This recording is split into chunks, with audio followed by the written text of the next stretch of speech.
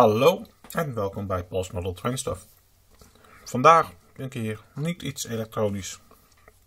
Ja, met elektronische middelen natuurlijk, maar uh, niet iets over elektronica solderen, digitaliseren en al dat soort dingen. Ik heb hier een uh, Lima uh, NS 1600 ehm, met de typische hele smerige Lima wielen. En ik heb hier al met een ehm, railgum zo goed mogelijk schoongemaakt. Ik heb met mijn uh, Lego apparaatje ze geprobeerd schoon te maken. En uiteindelijk blijven ze dof en vies hoe hard ik het ook probeer. Uh, dus ik ben bezig gegaan met polijst. Uh, ik kan in ieder geval kijken of ik hem dichterbij kan halen. Deze twee, daar is nog niks aan gedaan. Deze is met een railgum gedaan. En dit is gepolijst. En uh, de railgun ziet er op de camera, moet ik zeggen, best goed uit. Maar uh, met dit licht, en als ik zelf kijk, zie ik er duidelijk nog een, een, een groef in zitten van waar hij op de rails heeft gelopen. Iets wat op de, het andere wiel compleet helemaal weg is. Ik gebruik hiervoor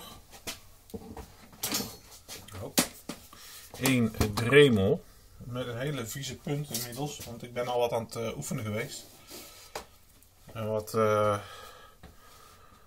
polijst uh, spul. Ik heb eerst op wat rails geoefend. Dat ging ook goed. daar vloog het vel ook vanaf, hoewel met de railgum versus dit ik niet veel verschil zag. Het is wel belangrijk om um, Eigenlijk moet je een iets andere dremel hebben dan dit. Hij moet zo regelbaar mogelijk zijn, dus dat hij lekker langzaam gaat. Nou, deze heeft alleen maar stand 1 tot en met 10. En ik vind, of in stappen van 2 ook nog eens. Ik vind stap 2 eigenlijk iets te hard gaan. Um, maar hij is niet geregeld in een toerental. Wat je eigenlijk wel wil hebben, is dat je een toerental kunt kiezen. En dat als je meer druk zet, dat hij meer vermogen gebruikt. En dan het toerental in stand houdt. Bij dit is het dat hij het vermogen regelt. Dus als ik veel druk zet, gaat het toerental omlaag. En moet ik hem dus wat harder laten draaien. Om nog genoeg toeren over te houden, mocht ik ergens een keer hard op drukken. Uh, ik geloof dat het sowieso niet het idee is hiervan dat je hard moet gaan drukken. Maar dat is een uh, andere discussie. Uh, wat ik heb gedaan. En eerlijk gezegd, doe ik maar wat. Is ehm, wat van het uh, polijste spul op mijn,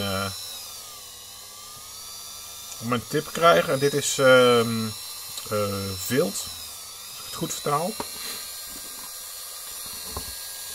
En vervolgens ehm, rustig tegen het wiel aan. En een beetje het wiel laten draaien. Nou, als je het loslaat, en dit zijn de vrijlopende wielen, dan gaat hij vanzelf draaien. Of dat nu zo'n goed idee is, daar twijfel ik aan. Op deze manier ben ik uh, rustig uh, om het wiel heen gegaan. Ik heb geprobeerd goed de randen overal mee te pakken. En wat dit doet is het zou moeten doen. Is een heel dun laagje metaal, inclusief al het vuil wat erin zit, van het wiel afslijpen. Nou, het is in ieder geval de theorie. En wat er achterblijft is uh, uiteindelijk een redelijk uh, doffe zwarte massa aan uh, nou, restjes eh, metaal en vuil. Nou, deze dremel gaat naarmate die wat langer loopt ook wat harder draaien. Dus ik zou hier echt een andere voor moeten hebben. Want ik vind dat hij nu echt veel te snel gaat. En te veel herrie maakt. Ik heb nu een, uh, een stuk uh, ontzettend vies wiel.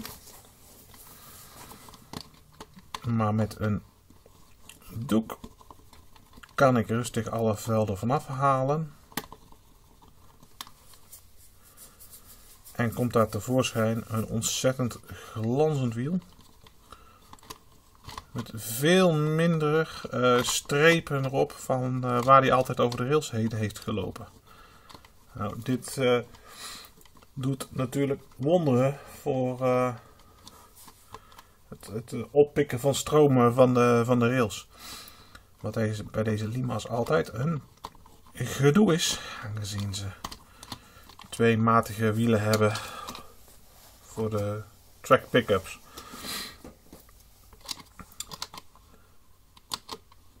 Als je niet uh, tevreden bent over het eerste resultaat, gewoon nog een keer doen. Uh, je hebt een redelijk wat uh, aan metaal wat je kunt wegpolijsten voordat het op is. Ik heb dit ook met rails gedaan.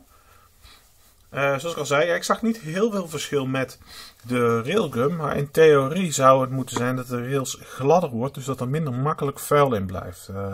waarbij je bij een railgum misschien mogelijk kleine krasjes uh, maakt. Zeker met uh, schuurpapier is het met die polijst dat je dat nou juist uh, heel glad maakt. Zodat die krasjes eruit zijn, waardoor het in theorie minder makkelijk zou moeten gaan vervuilen.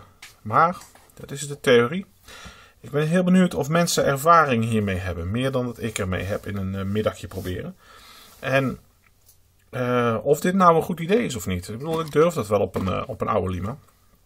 Als het moet wissel ik de wielen en ben ik weer klaar.